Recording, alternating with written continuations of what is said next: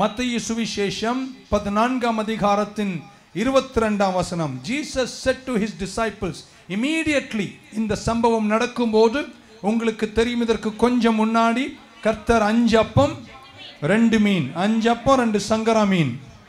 அது எப்படி நீங்கள் சொன்னீங்க? அங்கே எழுதல அதனால சொன்னேன். ஒரு அமீன் சொல்ல மாட்டீங்களா? அஞ்சு அப்பம் ரெண்டு மீனை கொண்டு அஞ்சாயிரம் புருஷர்களை போஷித்தார்.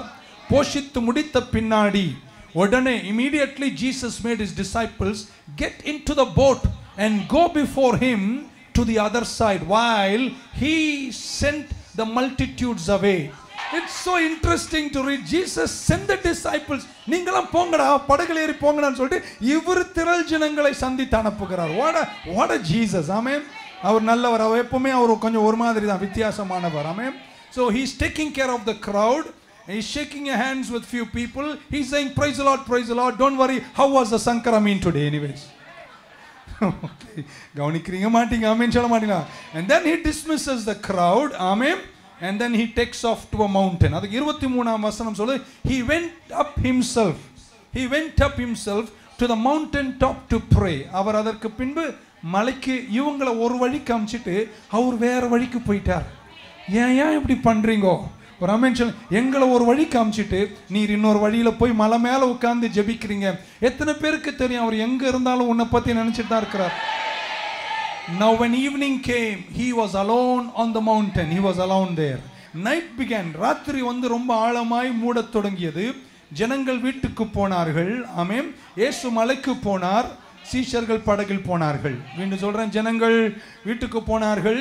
இயேசு மலைக்கு போனார். பாவம் சீஷர்களை கடல் ஏற்றி அமிச்சிட்டார். ஆமே கொஞ்சம் தூரம் இருள் சூழ சூழ ஒன்றாம் சாமம் ரெண்டாம் சாமம் மூன்றாம் சாமம் தொடங்கி நான்காம் சாமம் வரும்போது திடீரென்று அவர்கள் அவர்களை சந்திக்கிற ஒரு பயங்கரமான புயல் அந்த புயலின் நேரத்தில் இயேசு கிறிஸ்து படகின் மேல் நடந்து வந்தார்.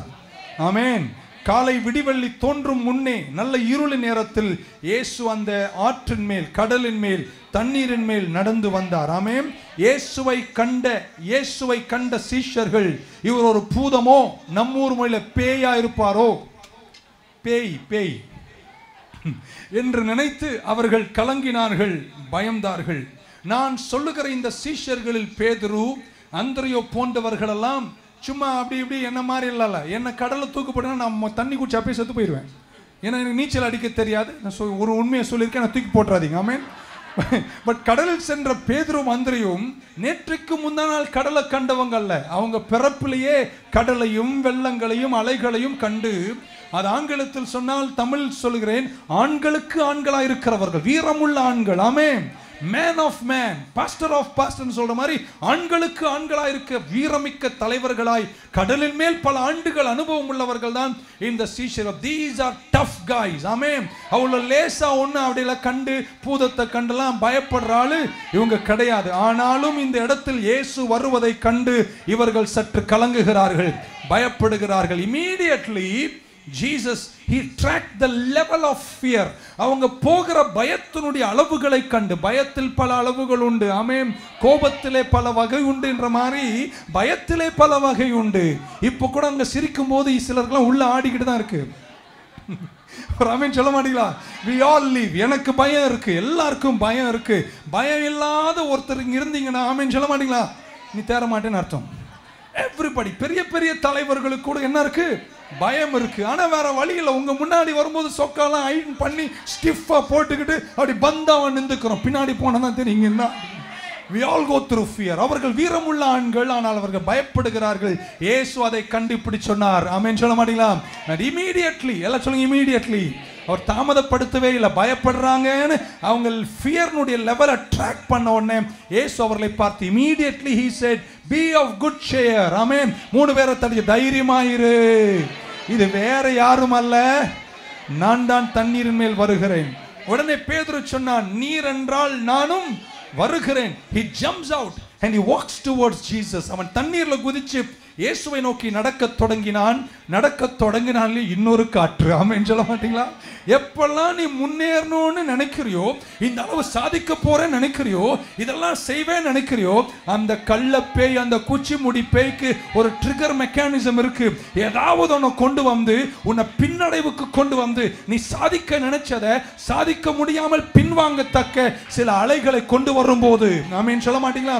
இன்னைக்கு அந்த பயத்தை விட்டு கர்த்தனை வெளியே கொண்டு வரணும். எத்தனை பேர் இன்னைக்கு அந்த பயத்தை விட்டு நான் வெளியே வருவேன்னு சொல்றீங்க? பயம் உன்னை தடுக்கிறது. பயம் உன் லட்சிய கரைக்கு செல்லாமல் உன்னை தடுக்கிறது. ஏசு சொன்னார் be of good cheer don't be afraid என்று கர்த்தர் சொன்னார். பேதர் குதிச்சான். அதுக்கப்புறம் அவன் மூழ்கத் தொடங்கிய போது கர்த்தர் தம்முடைய கரத்தை English Bible and then Jesus and immediately எல்லாம் திரும்ப திரும்ப இமீடியட்லி தான் வருது. Immediately Jesus Jesus out his hand எல்லாம் சொல்லுங்க ஸ்ட்ரெச்சு அவுட்டு நல்லா சொல்லுங்க stretched out his hand and caught him and said to him oh you of little faith why did you doubt? எத்தனை பேர் உண்மை உள்ளவங்க இந்த சர்ச்சில் இருக்கீங்க? நான் ஒரு லட்சியம் ஒரு அச்சீவ்மெண்ட் ஒரு காரியத்தை முடிக்க நான் முயற்சி செய்து முன்னேறும் போது எனக்கே புரியாத சில துன்பங்களை கொண்டு வந்து என் இதயத்தில் பயத்தை ஏற்படுத்தும் போது அந்த பிரச்சனை வரும்போது எத்தனை பேர் விசுவாசத்தை காட்டிலும் பயம்தான் முதல்ல வருது. பயங்கர வீரர்கள் உங்களுக்கு இந்த பிரசங்கம் தேவையில்லை என்று நான் நினைக்கிறேன். Many times when i want to achieve something and suddenly something is triggered ஏதோ ஒரு துன்பத்தை அவன் தூண்டி விடும்போது எனக்குள் விசுவாசம் வருவதற்கு முன் முதலில் ஏற்படுவது? பயம். சத்தமா சொல்லுங்கள் அதை நல்லா பயம். பயத்துல பல வகை உண்டு. I mean one fear is a spirit நான் விசுவாசிக்கிறேன் பைபிள் இருந்து. பயம் ஒரு ஆவி. ஒரு ஆவினா அப்போ அதை கடிந்து கொள்ள முடியும். அப்படின்னு சொல்ல மாட்டீங்களா? உங்கள் வலது கை எல்லாரும் உயர்த்துவீங்களா?